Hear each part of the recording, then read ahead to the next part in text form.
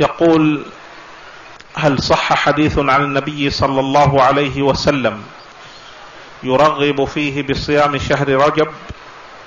لا. ما صح عن النبي صلى الله عليه وسلم شيء في شهر رجب.